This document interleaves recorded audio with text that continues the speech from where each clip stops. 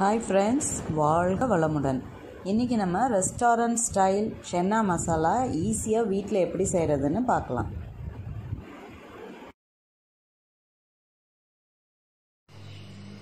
சென்னா மசாலாவுக்கு ரெண்டு பெரிய வெங்காயம் ரெண்டு தக்காளி பட்டை கிராம்பு ஏலக்காய் ஒரு அரை ஸ்பூன் பெருஞ்சீரகம் கொஞ்சம் கேஷ்யூ நட் இப்போ நான் இதை எல்லாத்தையுமே நான் குக்கரில் போட்டு வேக வச்சு அதுக்கப்புறம் நான் மிக்சியில் அரைக்க போகிறேன் ஸோ நான் அதை சின்ன சின்ன பீசஸாக கட் பண்ணலை. வெங்காயம் தக்காளி எல்லாம் பெரிய பீஸாக கட் பண்ணிக்கிறேன்.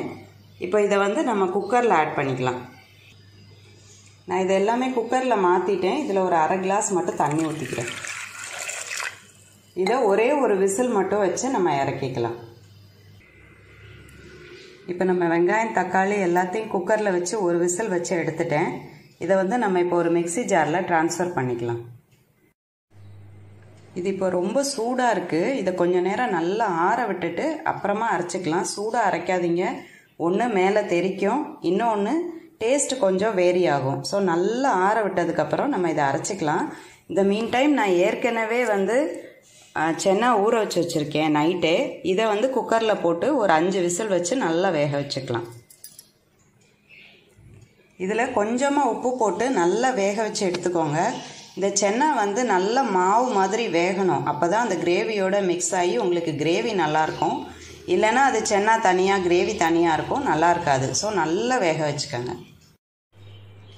இப்போ நம்ம வெங்காயம் தக்காளி அரைச்சி வச்ச பேஸ்ட்டு நல்லா சாஃப்டாக வேக வச்ச கொண்டக்கடலை ரெண்டும் ரெடியாக இருக்குது இப்போ கிரேவி எப்படி பண்ணுறதுன்னு பார்க்கலாம். நான் ஒரு கடாயில் கொஞ்சம் பட்டரும் எண்ணெயும் சேர்த்து கலந்து வச்சுருக்கேன். பட்டர் உங்களுக்கு வேணான்னா ஸ்கிப் பண்ணிக்கலாம். ஒரு டேஸ்ட்டுக்காகத்தான் இப்போ இதில் தாளிக்கிறதுக்கு ஒரு பிரிஞ்சி இலை ஒரு பட்டை கிராம்பு ஏலக்காய். இதெல்லாம் போட்டு தாளிச்சிக்கலாம். அடுத்ததாக இதில் இஞ்சி பூண்டு பேஸ்ட்டு சேர்த்து மூடி வச்சுக்கலாம். ஒரு ஃபைவ் மினிட்ஸ் கழித்து ஓப்பன் பண்ணி பார்க்கலாம் நம்ம. கிரேவி ரெடி ஆகிறதுக்குள்ளே நம்ம இந்த சைடு கொஞ்சமாக அந்த சென்னாவை எடுத்து மிக்சி ஜாரில் போட்டு அரைச்சிக்கலாம். கொஞ்சமாக தான் எடுத்திருக்கேன் இங்கே பாருங்கள் இது வந்து இது எதுக்கு பண்ணுறோம் அப்படின்னா அந்த கிரேவியில் இந்த அரைச்ச சென்னாவை சேர்க்கும்போது உங்களுக்கு வந்து கிரேவி திக்னஸ் கொடுக்கும். சென்னாவோட அந்த மசாலா சேர்ந்து சாப்பிட்றதுக்கு நல்ல டேஸ்ட்டாக இருக்கும். இங்கே பாருங்கள் அரைச்சி எடுத்துகிட்டு வந்துட்டேன். இப்போ பாருங்கள் கிரேவி நல்லா கொதிச்சு எண்ணெயெல்லாம் மேலே வர ஆரம்பிச்சிருச்சு. பச்சை வாடை எல்லாம் போயிடுச்சு. இப்போ இதில் கொஞ்சமாக கொத்தமல்லி தலை போட்டுக்கலாம்.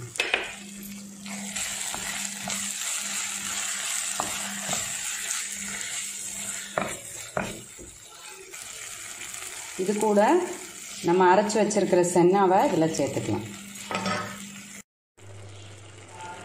இப்போ ஏற்கனவே வேக வச்சிருக்கிற கொண்டக்கடலையை அந்த தண்ணியோடு சேர்த்து அதில் ஊற்றிடலாம் இப்போ இது ரொம்ப திக்காக இருக்குது அதனால கொஞ்சமாக தண்ணி சேர்த்துக்கங்க. தண்ணி சேர்த்து இது கொஞ்சம் கொதித்த உடனே நம்ம கிரேவி ரெடி ஆயிடுச்சு ஆஃப் பண்ணிக்கலாம். இப்போ இதில் கொஞ்சமாக தண்ணி சேர்த்துக்கிறேன். ரொம்ப சே சேர்க்காதீங்க. ஏற்கனவே அந்த பச்சை வாடை எல்லாம் போயிருச்சு. ரொம்ப சேர்த்திங்கன்னா இன்னும் ரொம்ப நேரம் கொதிக்க விடுற மாதிரி இருக்கும். கொஞ்சமாக அந்த கிரேவி எல்லாம் மிக்ஸ் ஆகி வர்றதுக்காக கொஞ்சமாக தண்ணி சேர்த்து ஒரு ஃபைவ் மினிட்ஸ் மூடி போட்டு இதை நல்லா வேக வைக்கும்.